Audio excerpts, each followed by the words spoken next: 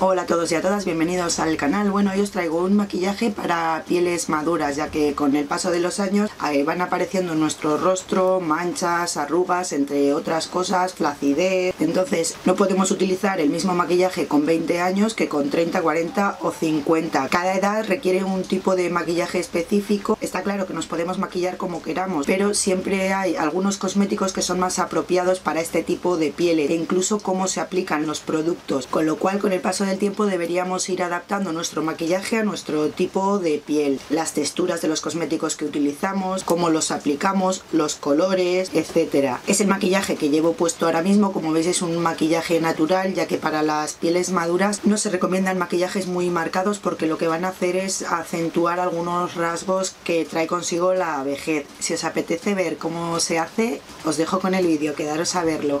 Voy a comenzar aplicando una ampolla flash, esta es de la marca Deli Plus, lo que va a hacer es eh, tensar la piel, hacer que el maquillaje se fije y dar un mejor aspecto a la piel. Lo dejamos secar y después voy a aplicar el Depore Profesional de Benefit, que lo que va a hacer es que también ayudar a que el maquillaje se fije y además disminuye el poro. Después aplico el maquillaje, voy a utilizar este de Maybelline, que es antiedad, lo aplico con una brocha y después voy a aplicar el corrector que también es de Maybelline y con un pincel plano sintético lo voy a ir distribuyendo. La forma correcta de aplicarlo para las pieles maduras que tienen bajo el ojo arrugas es aplicarlo separado de las arrugas la mayor cantidad y después extendiéndolo hacia arriba para que no se quede depositada mucha cantidad entre las arrugas que después no nos van a marcar los pliegues. Aplicamos el polvo ya que es importante eliminar todo tipo de brillos. Después paso con las cejas. El hacer una ceja más gruesa que es como se lleva ahora va a dar un aspecto más joven, más juvenil que una ceja fina.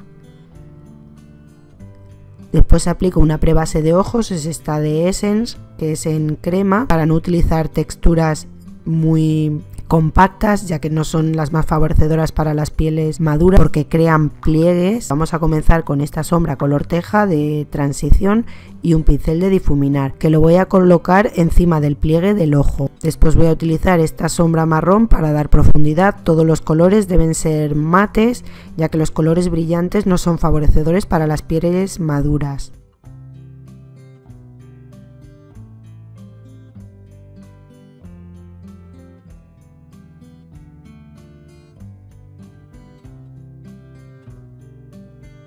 Una vez tengo hecha la forma lo voy a difuminar un poquito más con el pincel de difuminar y voy a utilizar este tono rosado para el párpado móvil. Los colores neutros son ideales para este tipo de pieles, que no sean colores excesivamente llamativos. Tienen que ser maquillajes eh, neutrales con tonos nude y después con este tono bisón voy a dar eh, un poco de luz debajo de la ceja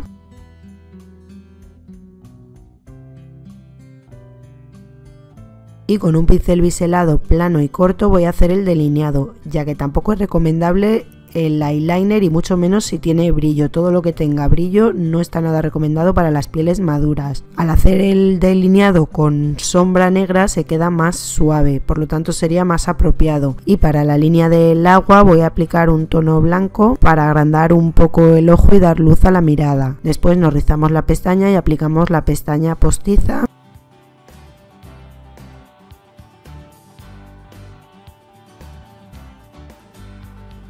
un poco de colorete que va a proporcionar un aspecto saludable y fresco al rostro, máscara de pestañas que me la había saltado este paso para unir nuestras pestañas a la pestaña postiza y que quede más disimulada. La pestaña postiza tampoco es conveniente que sea excesivamente dramática, tenemos que irnos más hacia las cosas naturales. Después me voy a perfilar con este tono nude y voy a aplicar este tono en los labios, también como veis es muy natural y este sería el resultado final.